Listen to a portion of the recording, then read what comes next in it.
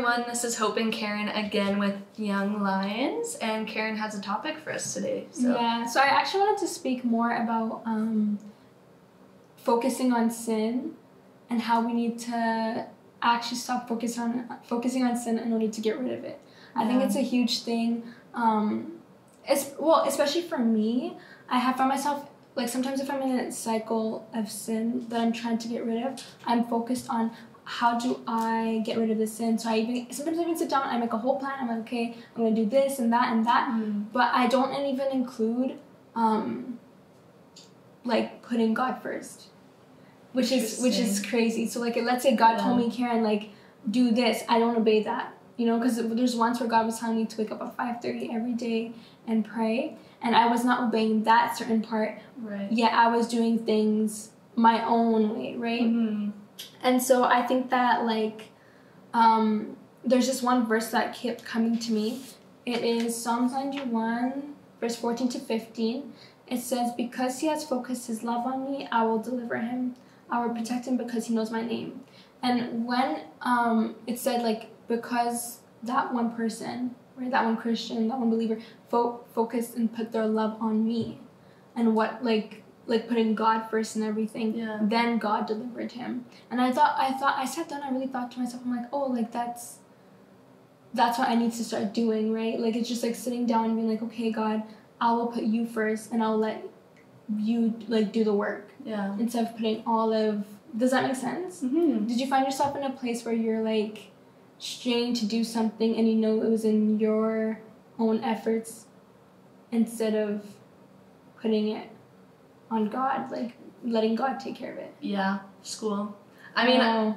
it's always my go-to. It's like the one thing in my mind all the time, every Yeah, day, because I have to do it every day. yeah, that but- makes sense though. Like, I guess it's not sin in the sense that you're thinking like she's doing something bad. Yeah. But I was going after school without keeping him in mind, and I kept Yeah. going, oh, I keep like doing this by myself, and I Mhm. knew that I didn't want to do that. hmm But I didn't focus on God to deliver me from that. So I just kept going, what can I do to stop doing it by myself? And I'm like, Yeah. do you Yeah. hear myself? I just said, what can Can I do Yeah. to stop doing that?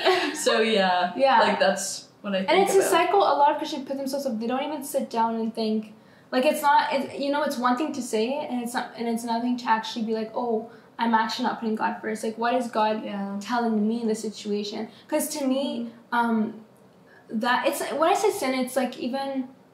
It's something that's basically straying me away from God, right? So um, even to me, it didn't make sense that praying at five thirty in the morning for five minutes would change what I what I need to get done. So I was doing all these other things that wasn't adding up, and God wasn't telling me to do. Yeah. You know, instead of doing that one thing God told me to do. Mhm. Um, so sorry, this is something I really wanted to share that I wrote down here. Mhm. I feel like, um, I feel like, actually, when you put your trust in God and put your all in God, that that desire itself to even sin or do whatever you were doing before actually starts to dis- diminish. You know, Mhm. and so, um, I feel like some some of these things it will only be done through God's power, and Yeah. it took me a lot of hum- like I had to be humble because I feel like thinking that you can do everything by yourself um, is a prideful thing. Yeah. Which I yeah, that's sin. Yeah, yeah, it You're right. is. Yeah.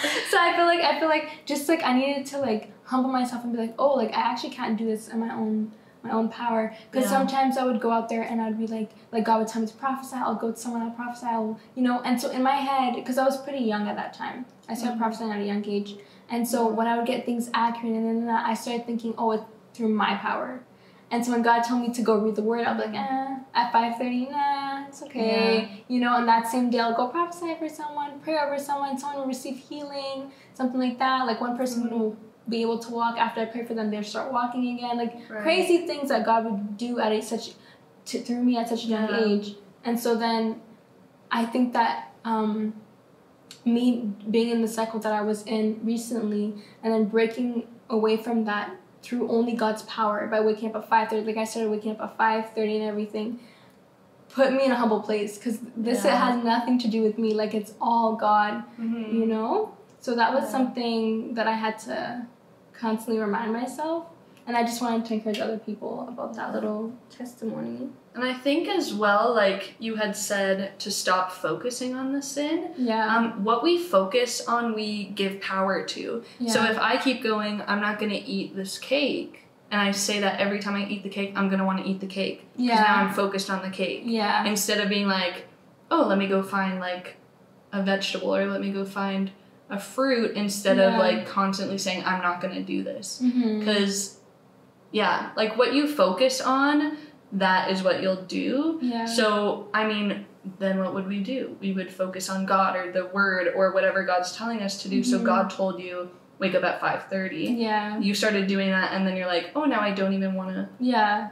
Think about the other things." Mhm. And another thing I like that you said is that the more time you spend with God, the less you want to do those things. yeah. And that's so true because, like, I used to think that Christianity was about, like, rules, regulations, like, oh, I have to discipline myself or whatever, which you do have to discipline yourself. But at the same time, if you're spending time with God, you want to do things that please Him. So then you're not going to do things that you know He doesn't like. Mhm. So I was at a really good point in my life, I think in high school and uh, after high school as well, where Mhm. I was just like, oh, I don't feel bad that I don't get to do these things that other people do. yeah. I am happy because I know that it pleases God and I know that it's good for me. yeah. Because sin is hurtful to us. Mhm. It doesn't hurt him, it hurts us, and Yeah. that's why he doesn't want us to do it. So then when I realized that, I was like, oh, I don't actually want to do those things because I know that they hurt me. Mhm. And I know that I want to have a good relationship with God, and sin separates me from God. 100%. But with Jesus and forgiveness, we get to go to God yeah. every time. And in order for you to even get to that place where you're like, I want to please God, which is why I don't want to sin, you'll Yeah. actually have to get to know Him, mm-hmm. right? And so, like, spending that time, that's what I'm saying, like, Yeah. not even focusing on, oh my gosh, I'm sinning, I'm sinning, I'm sinning, but like, just being like, spending that time to get to know Him so you can start loving Him and, you know, and all that stuff and building Yeah. a relationship, then it's so much more easier. Because it's it's it's different to do um, something for someone you don't know, but when you get to know that one person and you trust them and you have a relationship, then it's so much easier to obey what they say. Mhm. Um, and so I just always think about back to the story of the prodigal son, where the father took, I mean, the son took all the inher- inheritance from the father, Yeah. went and spoiled it and everything, and the and the son means like slept with pigs, all that, you know, all that stuff. yeah. And then he came back, and I, I bet like he was filthy and all that. And then um, his father saw him and came running to him, um, and then dressed him up with robes and everything like that, because it, it was like a wealthy family basically. Yeah. And so I always think back to that, and I'm like, like that's God in us, right? And so Mhm. sometimes we're I think that I have to come to God all clean and all this and that. But when I look back at that story, because I never used to think of myself as oh I'm the prodigal son until one day I Mhm. sat down like wait, like that's literally where I'm at, and I need to go back to to God, and it doesn't matter my state of Yeah. being, you know. Mhm. So yeah. Yeah, because if we had to go to God only when we had no sin, we Yeah. would never like talk to him. We would Yeah. never have that relationship with him. But he sent Jesus to die on the cross and rose again, lived again, Yeah. so that we could come to him no matter what we're going through. yeah. And like that's just the beautiful thing about forgiveness is that he forgives us through the blood of Jesus because we believe in Jesus and then we get to go to God no matter what. And I'm Mhm. sure that he like think about it.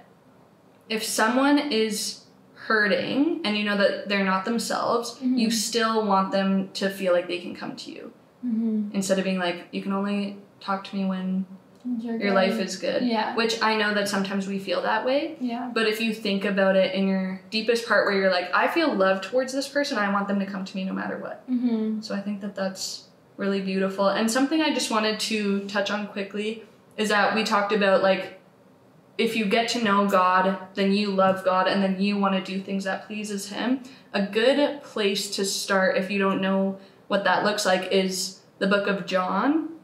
In the Bible, it's called the book of love.